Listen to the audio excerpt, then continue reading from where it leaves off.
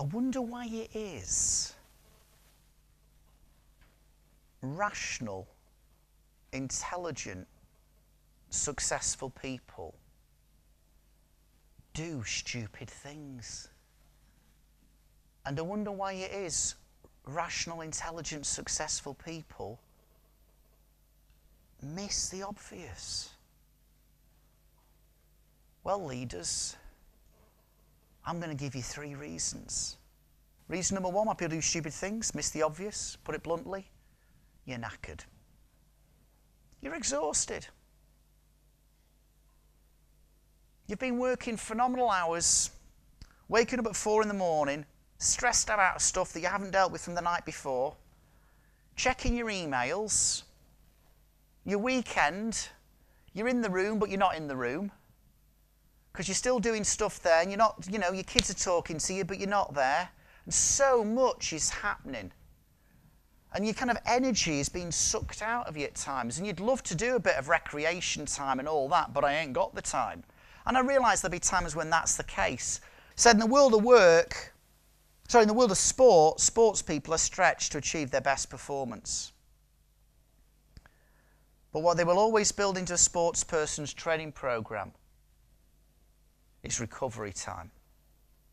Recovery time does not mean you take a week off.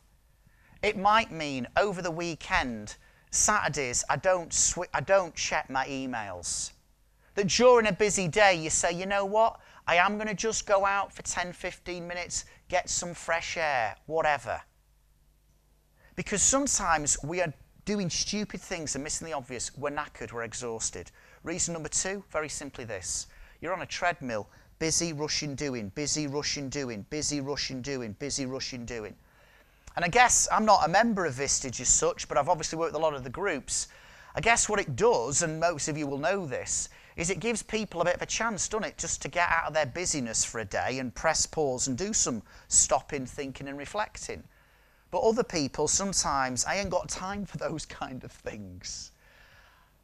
You know, I can't afford the time. And I'm sometimes thinking, can you afford not to do things like that or get yourself a coach? You know, but sometimes it's like it's head down, work hard.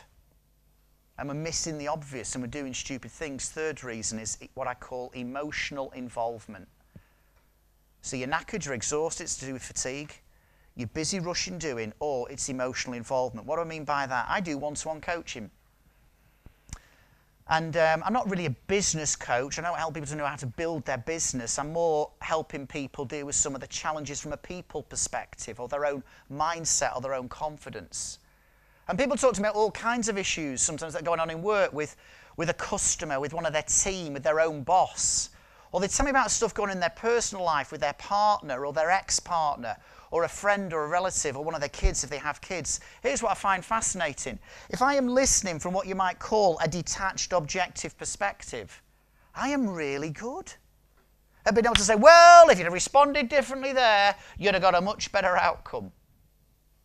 But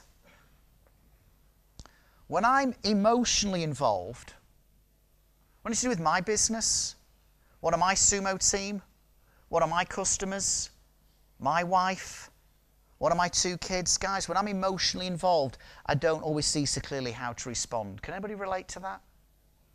It's like the brain fog descends. Here's the reality the higher your emotional involvement, the lower your rational perspective.